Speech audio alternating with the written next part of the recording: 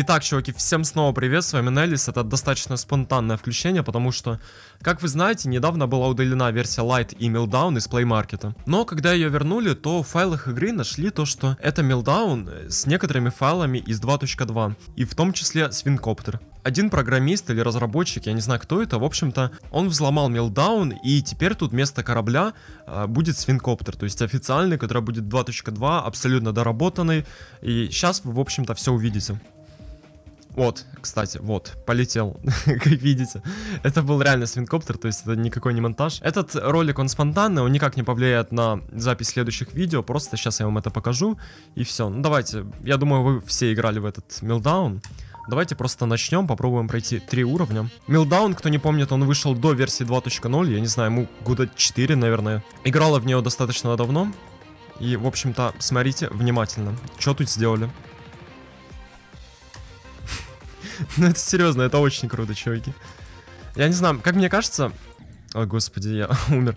Э, как мне кажется, Роберт специально как бы оставил вот эту возможность поиграть за свинкоптер, потому что он абсолютно все вырезал, кроме вот этой вот фишечки. То есть, возможно, это просто небольшой спойлер или намек, то, что 2.2 выйдет совсем скоро.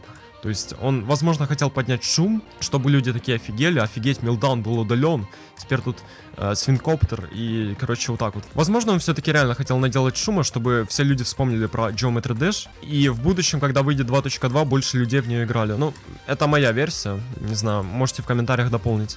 Так, дошли до следующего, вот. Не помню, где тут следующая монетка, если честно, она, по-моему, где-то тут должна быть.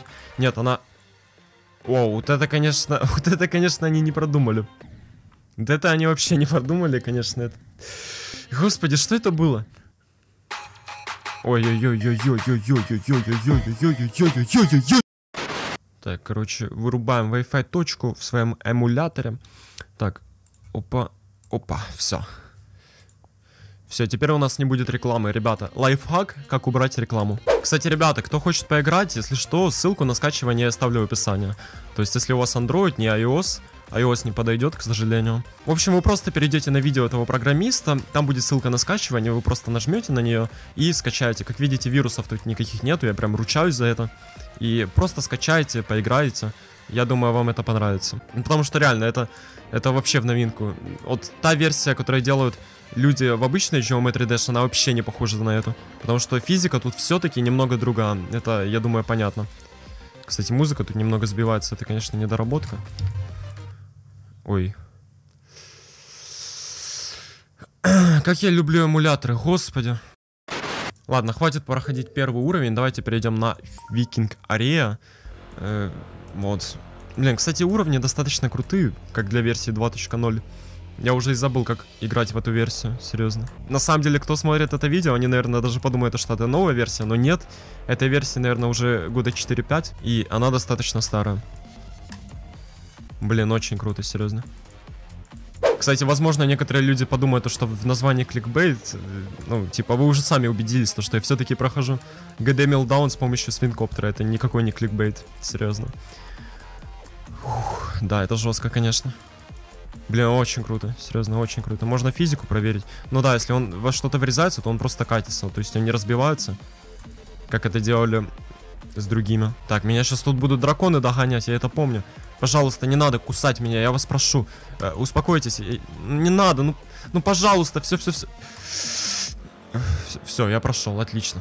Викинг Арея, новая ачивка. Ого, ничего себе. Так, Нафига мне эти Lords Mobile? Ладно, не буду рекламировать все-таки. Они мне не платили.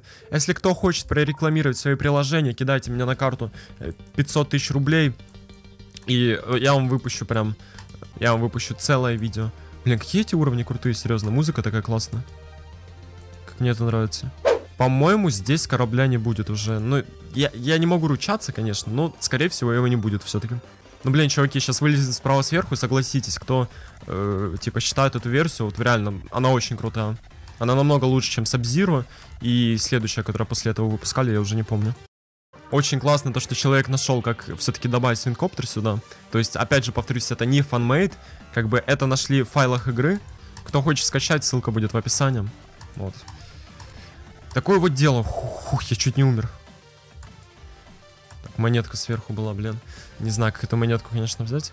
В общем-то, вот, э, в принципе, никаких изменений тут больше нету, если не ошибаюсь. Нет, нет, нет, нет, еще в Options есть какие-то тут Fast Editor Preview, Auto Low Detail, короче. То есть это тоже немного изменено, но эти настройки в принципе бесполезны, потому что они тут не нужны. Робер просто забыл их удалить. То есть вот, я сейчас так полистаю, вы, как видите, их тут очень много. Кому я чем-то помог, и вы действительно хотели поиграть в новый свинкоптер, то, пожалуйста, поставьте лайк, поддержите это видео.